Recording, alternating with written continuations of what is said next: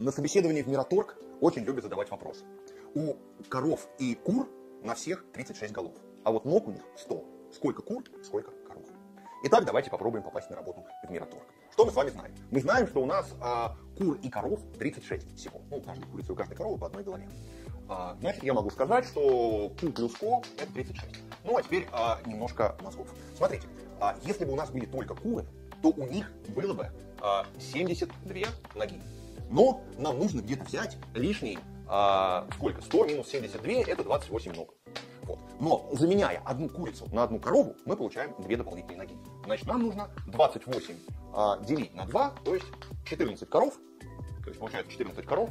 Ну а сколько кур, если всего их 36, значит 36 минус 14 это 22 курицы. Ну а если вы видите свою творческую реализацию какой-нибудь технической профессии, то наверняка вам пригодится наш телеграм-канал. Там много полезной математики, которая непременно поможет вам.